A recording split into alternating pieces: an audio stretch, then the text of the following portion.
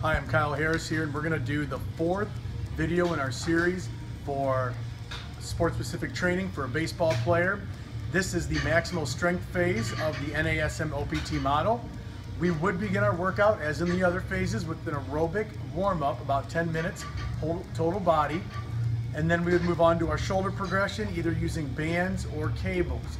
Then we're gonna move on to foam rolling. And I'm gonna go through those exercises once again, just to show you in case this is your first video. If you need to see what the shoulder circuit looks like, you can refer to the first two videos. I showed those in stabilization endurance and the strength endurance phases. I used a cable, or I used a band in the stabilization endurance and cables in the strength endurance. So then we're gonna foam roll. We're gonna hit our TFL or the upper part of our hip, whichever needs it most. We're gonna find that tender area here or here, maybe down a little bit more, and we're gonna hold that 30 to 60 seconds. We're gonna do our piriformis. For that, I like to sit right up on the foam roll, cross my leg like this. That helps open up that area. And then I roll around on the glute, try to find where it's tight. And if I find that, I'm gonna hold that again, 30 to 60 seconds. If I need to, I can turn that sideways to help hit that just a little bit more. After that, we're gonna do our lats. We'll get in here, get our lats up in the axillary armpit region. If we need to, we can go down a little bit lower. Watch so you don't put too much pressure there where the ribs come into play and the intercostals and the serratus are.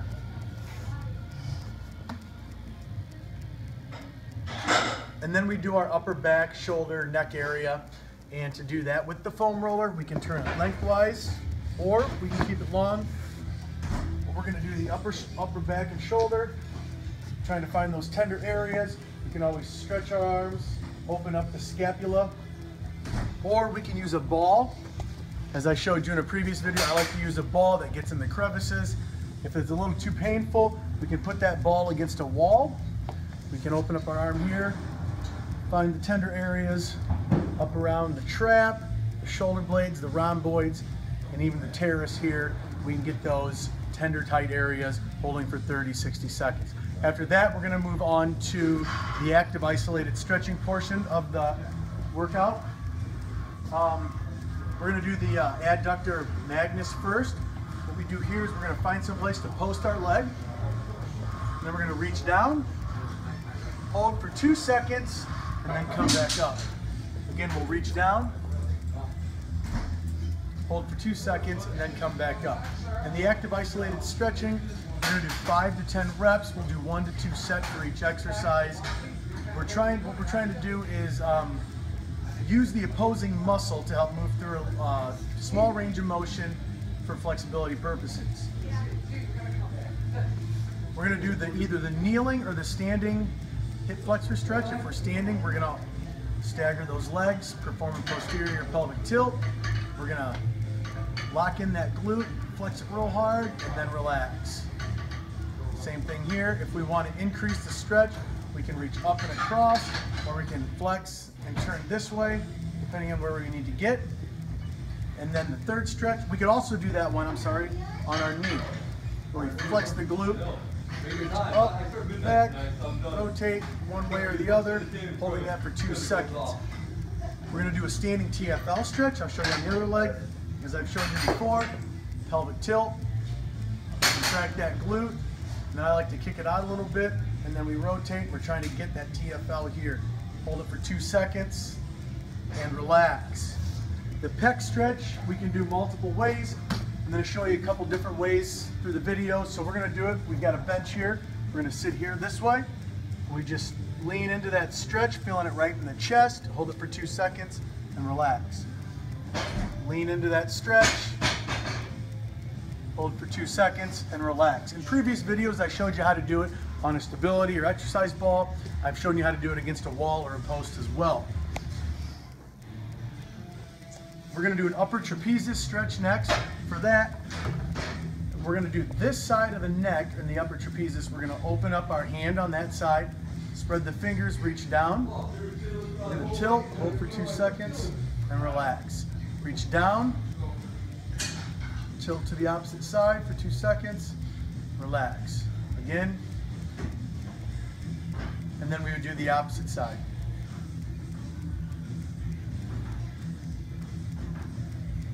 If we wanted to increase the intensity of the stretch, we could reach, pull, pull for two seconds, and relax. Reach, pull, pull for two seconds, and relax. And then we're gonna do the ball lat stretch.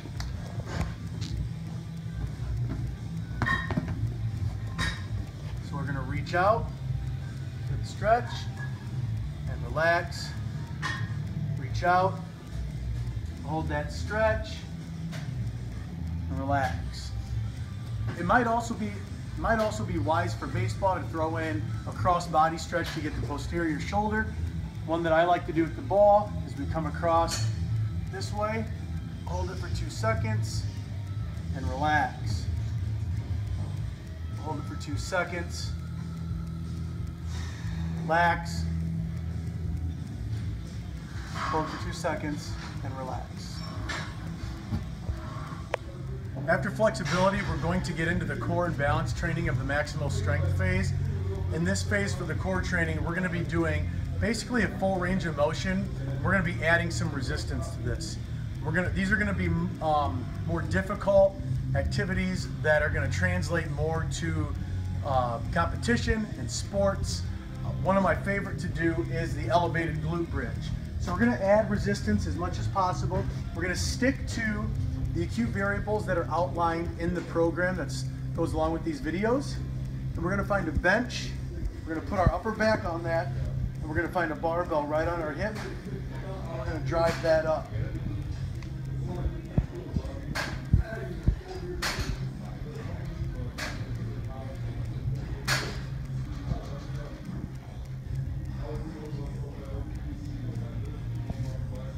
Even though in the resistance portion of the maximal strength training, we're gonna keep our repetitions between one and five reps depending on the week. We're gonna keep the intensity levels probably between 85 to 100% our one rep max.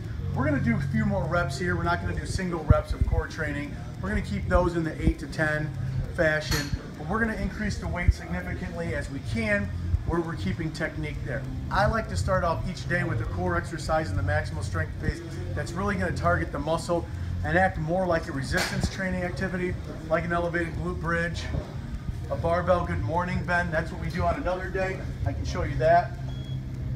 Barbell good morning. We can go with a close stance or we can spread the feet apart with a wide stance. We're gonna come back this way. And we can progress that or regress that exercise by adding weight, by using various types of bars. Um, we can use a buffalo bar, a cambered bar, we can use a safety bar to make it a little bit easier. So I like to start out the core training with a strength-based exercise that's working the core. On this day, the next thing we're gonna do is a resistance band rotation. We are training for baseball, so those rotational properties are important. I like the resistance band because you really have to work. Tension increases as we rotate, and we have to fight the resistance. So we're gonna rotate and then come back. And the tempo in this phase is a little quicker, so the, re the resistance bands allows us to be a little more ballistic and explode and then kind of fight the negative. We would do both sides.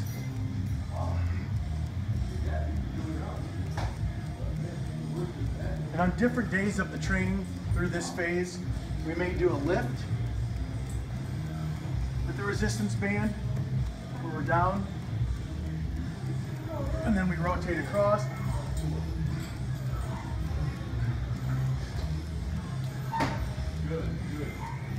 Or we may do a chop. I'll show you a kneeling chop. We'll have it start high, chop down to work those muscles just a little bit differently. After that, we're gonna do an incline reverse curl. So we've got to find that incline bench.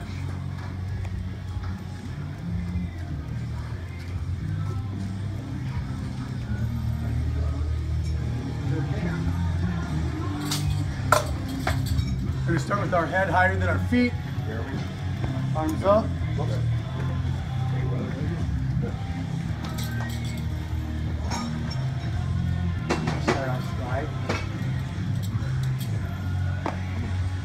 And perform a reverse leg or a reverse crunch or a leg crunch there. Now when we're doing that, it's important that we're using those activation techniques we used in the stabilization endurance phase. So the drawing in maneuvers, the pelvic tilts, things like that, you want to keep those engaged, use the legs. This is a good way to overload the reverse crunch. You're working more against gravity. It's a much tougher exercise, great progression into the strength or the maximal strength phase. The last thing we're gonna do is gonna incorporate balance.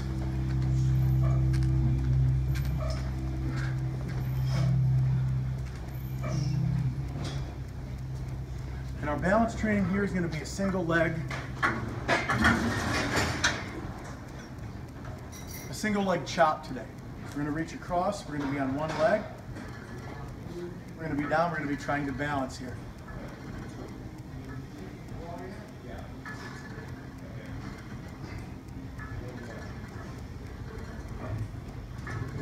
And then we would do the other, the other side of the body. Again, in this phase, on another day, we may drop that down, do single leg rotation.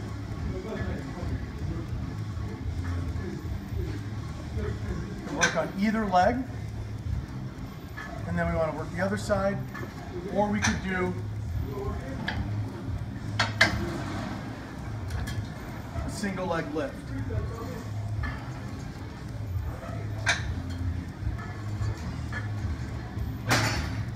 So we're working that balance, but we're adding another component of that. That's working the core and the balance, building that neuromuscular efficiency that we need.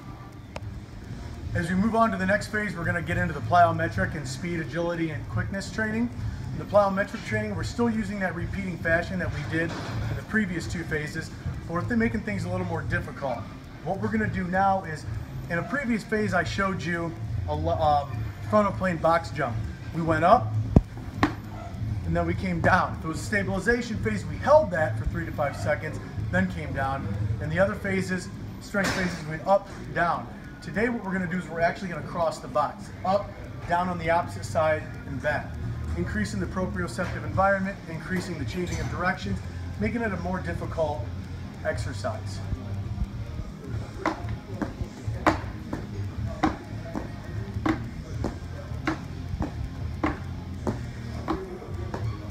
The idea here is to really try to be explosive, to try to spend the least amount of time as possible on the ground, and to really work through that eccentric and concentric uh, contractions as fast as possible using the body's stretch and shortening cycles. The next one we're going to do are lunge jumps. I always like to incorporate a single leg jump or bilateral jump, so or unilateral jump. So we're going to do lunge jumps here.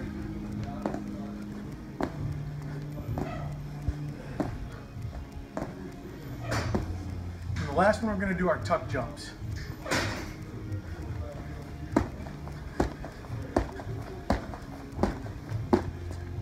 Tuck jumps are great. We're trying to really spend the little amount of time on the ground as possible. We're trying to really rebound, get those knees up, really building explosive power and neuromuscular control. Okay, so after plyometrics, we're moving into speed, agility, and quickness. First thing we're gonna do is a little bit of some technique work. We're gonna do an A-skip. We've done this in previous drills. We're up, working on triple flexion and triple extension. When we get down, we want to have that foot as close to the flat as possible. And when we come up, we want to make sure we're in that triple flexion there. During other days, we might do a lateral A-skip.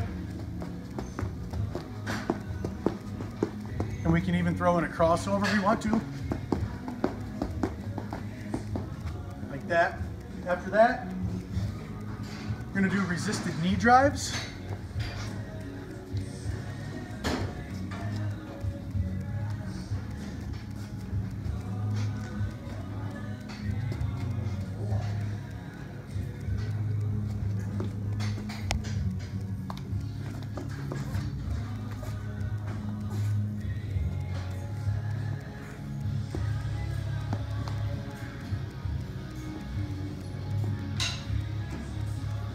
The other leg.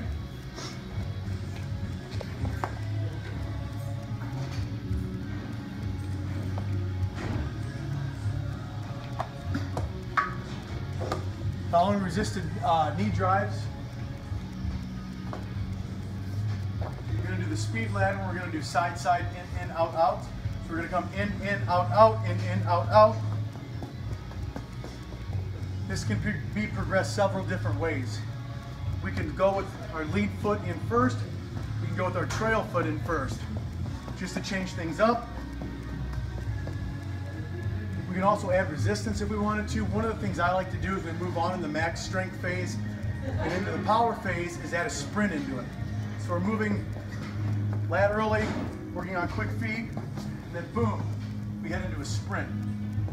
So as soon as we hit that last box, as soon as we hit here, breaking down and sprinting just like we would take off in baseball after a ground ball, fly ball, or a steal. Then we're gonna do an upper body drill. I'm gonna have to come around this way. Mm -hmm. We're gonna do in and out outs sideways with our upper body.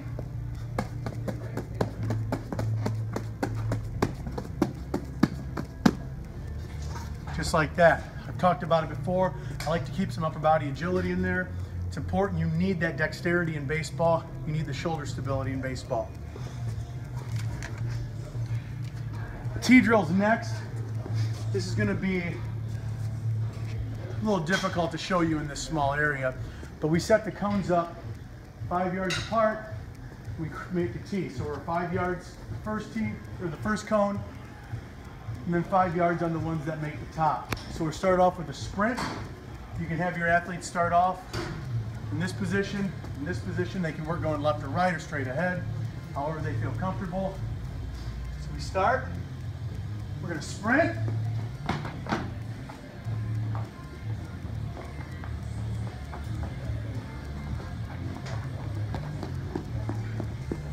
So we're gonna sprint, break down, shuffle, karaoke, shuffle, back pedal.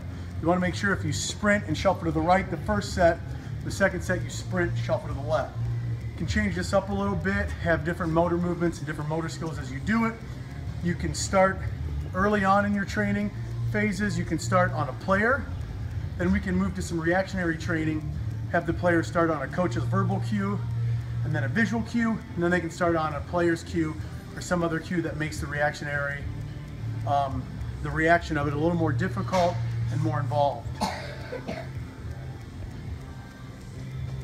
After that, we're gonna move to some assisted sprints. Now we don't have a good belt here. Um, unfortunately, I forgot to bring it with us, but we're gonna have Jess here help out just to show you the dynamic of what we're gonna do here with assisted sprints. Yeah. She's gonna take this bungee cord pull. I'm just gonna have her stand to the side. And then once we're here, I'm gonna take off and stop. Ideally, we're gonna have a longer bungee cord. What this does is it improves, increases stride length and stride rate, making the athlete actually run faster than they are capable of. If you want to run fast, you need to run fast or faster than you are capable of running. So assisted sprints are an excellent thing to do. On a different day, we may do resisted sprints where we'd be towing either with a rope or a bungee cord or a parachute or a sled. And then after assisted sprints, we're gonna do steal starts. Now, these are mirrored steal starts. I'm gonna use my daughter here as, a, as my training partner. We both get into we both get into a steal start position. I'm going to the right, she's gonna go to the left, or she could turn around that way. Face the other way. And then she's gonna get into a position like she's gonna steal. As soon as she takes off, I'm reacting to her first movement. Working on, again, reaction, reaction, reaction. And as we move into these final phases like mac of maximal strength, and then eventually the power phase, we want to increase the reactionary component of our speed, agility, and quickness and make it more sport specific. So we're in the maximal strength phase and we're at the resistance portion of the workout. So we're going to be performing anywhere from three to six sets and one to five repetitions, 85 to 100% of our one rep max. So the first thing we're going to do is a leg press. This is kind of an accessory lift. On the other days of this week, we'd be doing a squat, and then the third day would be doing a deadlift. So we're gonna do leg press. A good hip sled's an excellent way to hit the leg muscles without stressing the uh, spine. So the days we're not doing the squat or the deadlift, we use the leg press and we can really load that weight up. We want to make sure we're keeping the core engaged.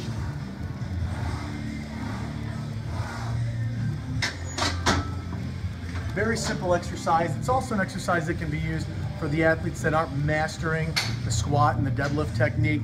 We want to overload those legs still. We can load the weight up. It's a lot easier neuromuscularly and mechanically to perform a leg press than it is to perform a squat. The next exercise is a glute ham raise.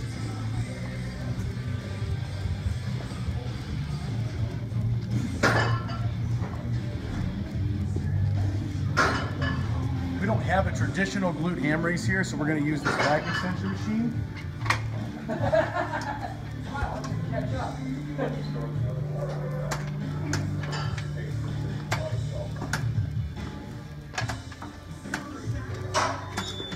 And we're just gonna try to really focus on engaging the hamstrings. If the athlete can't do that,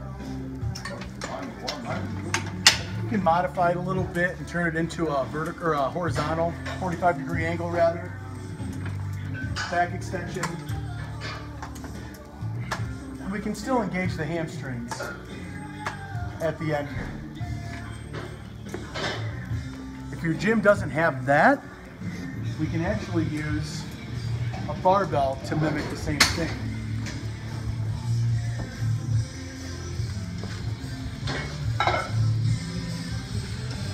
You set up a bar, some bumper plates, some 25s in front of them so it doesn't roll away.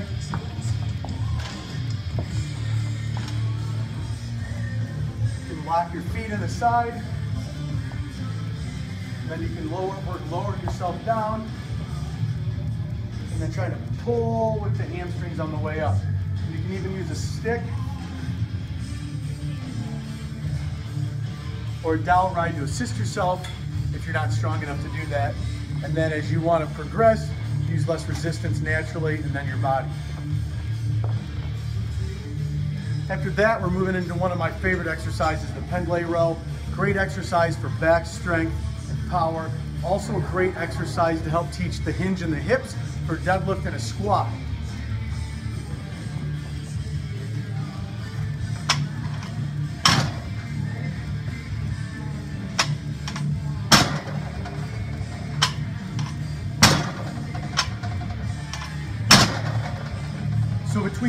Rep, we're touching and resting on the ground. I like to try to disengage a little bit, pull the slack out of the bar, and then pull, almost mimicking what you would do in a deadlift. After that, we're gonna go to the bench press.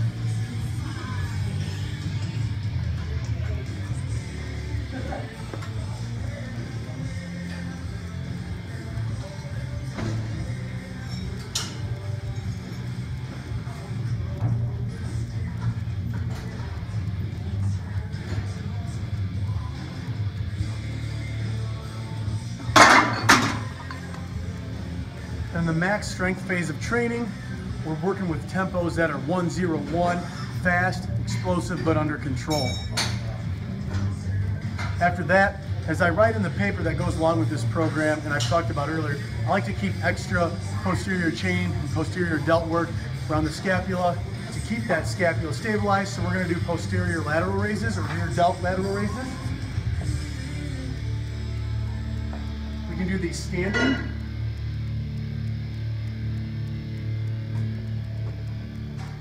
If our athletes can't keep a neutral spine, we can do them seated as well.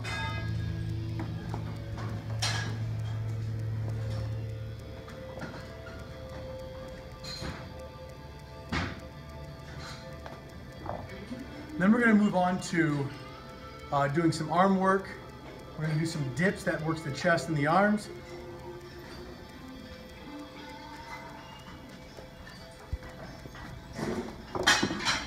Nice thing about dips is we're using our own body weight, so it increases the neuromuscular demand.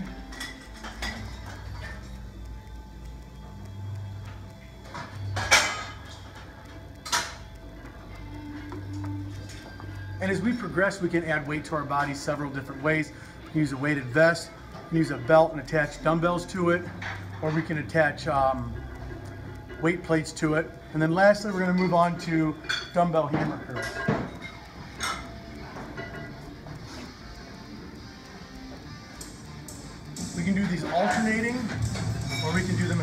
Time. And in this phase, it's maximal strength.